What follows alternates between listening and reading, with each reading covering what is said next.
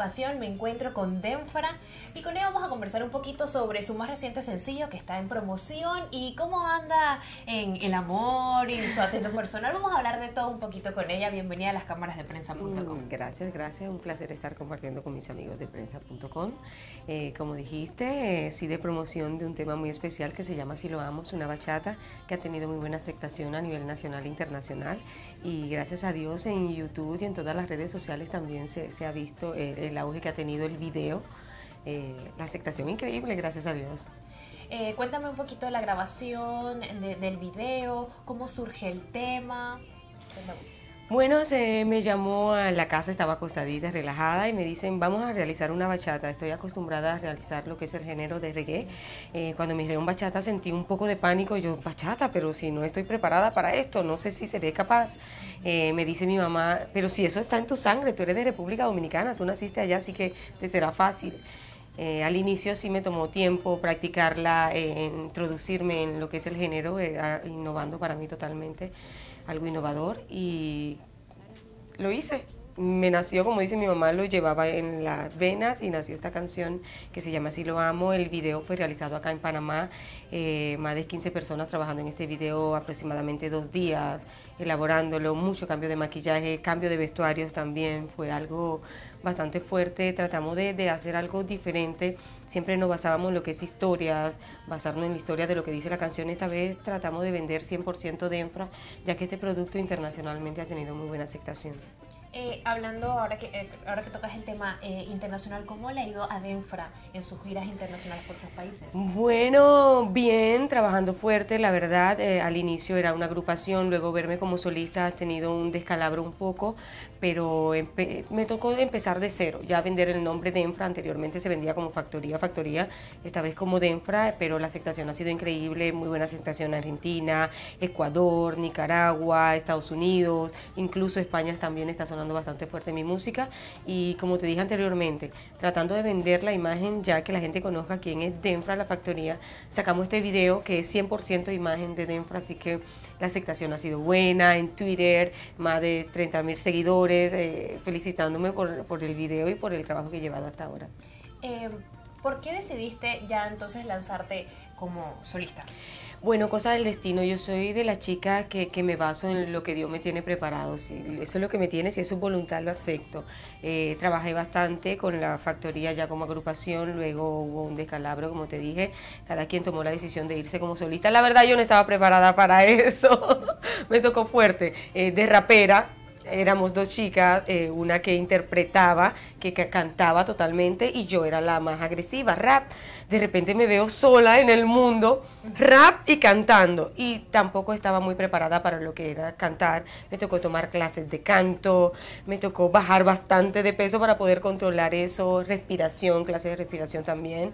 Gracias a Dios hoy en día ya me siento totalmente cómoda en una tarima, puedo cantarte aproximadamente dos horas ahí sin cansarme y rapearte igual, así que me siento contenta por lo que ha sucedido. Me hace sentir protegida y aunque la gente diga que no es lindo ni buen mozo, él es mi hombre y lo amo. No es una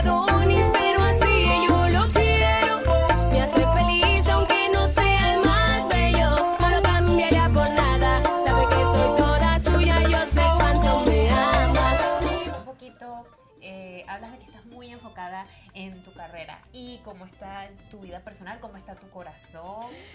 Una vez tomé una decisión, no hace mucho tiempo, hace como unos dos meses atrás, que ya no iba a hablar acerca de, de, de, de, esa parte de mi vida. Porque cada vez que vengo a hablar de estoy soltera y sin compromiso, y vuelvo de nuevo y soltera, la gente piensa que la del problema soy yo. que los chicos no me soportan. ¿Y es verdad o, no? Mm. Bueno, no, no, uno nunca acepta, ¿no? No, yo creo que me porto bien. Soy un poco dominante, eh, sumamente amorosa, comprensiva. Pero, ya saben, mm, comprensiva, pero tengo mis detallitos ahí también, un poquito agresiva, me encanta que se hagan las cosas, pienso que no soy perfecta, pero me gusta sentirme que lo soy.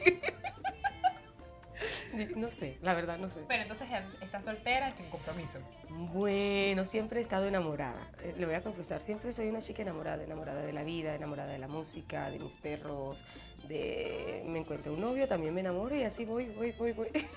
Hasta que llegue ya el, el indicado. Eh, como, dice mi mamá, mientras aparezca el perfecto, vamos a seguir con el imperfecto.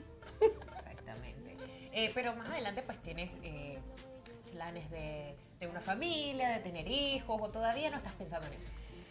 La verdad me llegan pensamientos, pero no, no es mi prioridad por ahora. La verdad no, no, no me siento capacitada para establecer una familia. Eh, como te digo, tengo un sueño muy grande que es llevar mi música al máximo nivel. Y más adelante veremos qué pasa. Como te digo, voy viviendo cada día. Cada día con la ilusión, con lo que me prepara el destino, con lo que Dios me tiene preparado, aceptando siempre su voluntad. Y si su voluntad es que hasta esta hora simplemente me guste amar la música y estar en una tarima, eso voy a seguir haciendo. Pero entonces este tema así lo vamos, que es una letra muy bonita, muy romántica, diferente a muchas de las que te hemos exacto. escuchado. ¿Cómo surge este tema? Bueno, eh, le escribió un chico que se llama JD. Tengo ese, ese don, que cada vez que me escriben una canción es lo que estoy viviendo en ese momento. En ese momento sí tenía un noviecito. Y estaba sumamente enamorada. La cosa es que se me pasó el amor. Estaba enamoradísima y esa canción me cayó como anillo al dedo y, como te digo, la interpreté con todo el amor del mundo, eh, basándome en lo que estaba viviendo en ese momento, que estaba enamorada.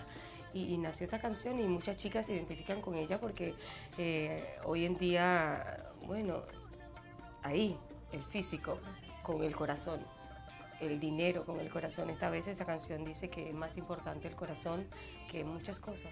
Aunque ahí también dice que el dinerito es importante. Este, mm, ¿Este video en qué disco se incluye o todavía estás preparando, no? Bueno, la verdad temas. son recopilaciones que hace la empresa Panama Music y cada chico que pertenece a la empresa hace un tema y eso va y se lleva a la radio. Si la canción tiene buena aceptación, se le hace el video, se prepara para lanzarlo a nivel internacional y según eso vamos eh, viendo si el video agarra, eh, si la canción agarra bastante auge, se prepara un disco y se lleva a nivel internacional a trabajar. ¿Presentaciones aquí en el país tienes? ¿O Bueno, gracias a? Dios, sí, bastantes presentaciones he tenido. eh, todo- tengo jera de tanto trabajito, gracias a Dios. Eh, presentación por ahora, voy a estar visitando Azuero, eh, Colón también, así que estamos trabajando. Bien, bueno, muchísimas gracias por haber compartido con nosotros estos minutos y despídete de las cámaras de prensa.com y seguro que te deseamos toda la suerte de, en esta carrera ahora que tienes como solista. Bueno, un beso muy especial para todos mis amigos de la prensa.com. Gracias por el apoyo que me brindan y lo quiero muchísimo. Bye, Den Fran.